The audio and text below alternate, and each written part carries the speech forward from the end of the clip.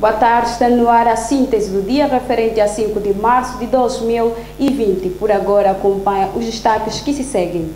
Valentim Joaquim Jamba Pedro de Benguela está, está detido por ser acusado de vender apartamentos na centralidade de Benguela, Lubito e Bahia Farta. A denúncia foi feita pelos munícipes daquela província.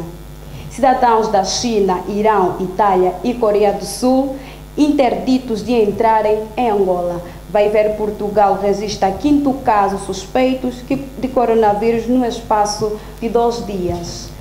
Ponto final à edição de hoje. Prometemos voltar amanhã no mesmo horário. Boa tarde.